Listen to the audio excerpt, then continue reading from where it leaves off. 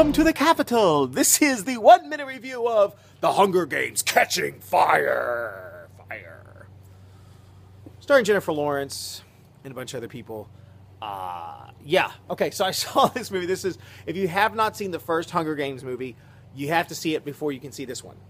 Because this movie will make absolutely no sense to you if you haven't seen the first one. I have not read the books. I started, I tried to read the first book and I hated it. Uh, just couldn't stand the writing. The first movie I liked a lot more than I thought I was going to. This movie, ah, it was good. It's too slow. Okay, there's too much at the be- there's too much on the front end setting things up. There's this whole question in the middle about are they going to really have are they really going to make us do this? Let's all get up on television and basically try to convince the Capitol not to do this.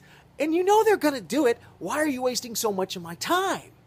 And then once they're actually in the combat arena, that seemed to not be as big a deal as the first one. And okay, so it has its issues for sure. The best things about this movie are when it reminded me of The Empire Strikes Back, because you know it's a three act arc, right? And like the original one seemed like a perfectly good movie. I didn't need any kind of sequel like Star Wars: A New Hope. This was like, oh, set you up for a sequel uh, yeah, they really do entirely set you up for the next one. And I thought they set me up very well. I, w- I left the theater going, dang, I want to see the third movie to see what happens next, honestly. Uh, but a lot of times before that, I was like, eh. Here's the one thing I'm gonna I have to say for sure though: Jennifer Lawrence. Jennifer Lawrence is extraordinary no matter what you put her in. She's oh my gosh, she's so she's so good in this movie. I totally believed her the entire time.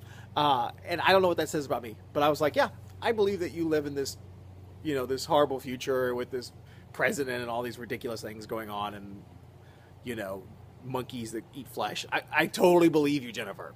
So, you're listen. You're, this if you're the kind of person who's going to see this movie, you're going to see it or not, not based on my recommendation.